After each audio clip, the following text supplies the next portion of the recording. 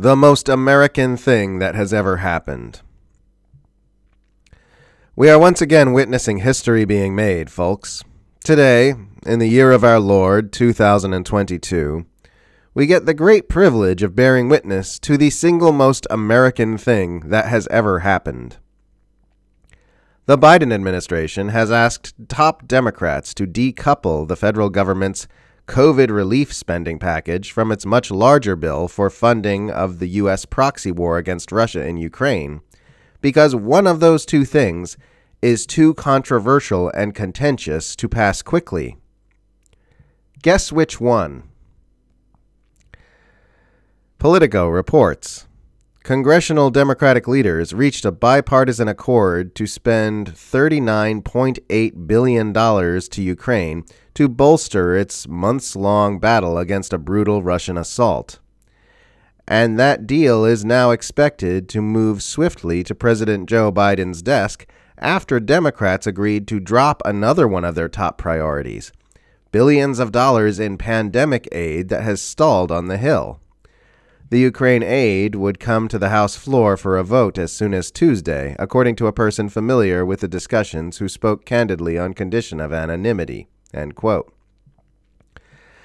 That nearly $4 billion worth of proxy war funding eclipses the paltry $10 billion in COVID relief funding that was being debated in Congress, and is in fact well in excess of the already massive $33 billion sum requested by the White House.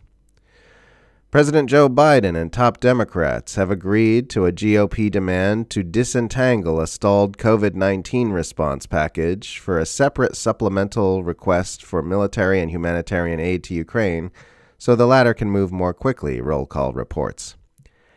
At the same time, House and Senate Democrats have upped the price tag on the Ukraine package by $6.8 billion above Biden's initial $33 billion request. Democrats proposed including an additional $3.4 billion for food aid and $3.4 billion more to replace U.S. military equipment sent to Ukraine, according to sources familiar with the matter. I defy you to find me anything more American than Washington decoupling relief for its own citizens from its proxy war funding because it wants to make sure the proxy war funding actually passes. It's almost too perfect. You couldn't come up with a better summation of the U.S. empire in a nutshell if you tried. Taking money away from needful Americans because congressional opposition to doing so was putting too much inertia on Washington's games of nuclear brinkmanship is the single most American thing that has ever happened. There's actually a real poetic beauty to it, if you look close enough. The government, which runs a globe spanning empire, is dubious about the need to help its own citizenry recover from an economy flattening pandemic, but throws its full bipartisan support behind a proxy war which threatens the life of every living organism. And that's it. That's the whole entire point I wanted to make here. It's so insane you'll cry if you don't laugh. And we'll always have those little moments of laughter even if these psychos get us all killed.